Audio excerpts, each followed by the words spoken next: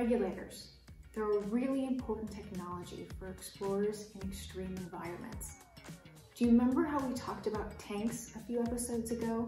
It takes a whole bunch of air and holds that air compressed so an explorer can take it wherever they need to go.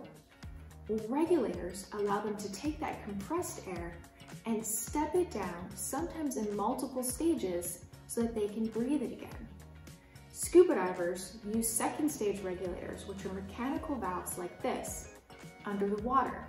They always carry two, a primary one and a secondary one for emergencies. The regulators in spacesuits, like in Molly's spacesuit, are actually in the back in the backpack. So remember, be kind to yourself, be kind to others, and be kind to this planet.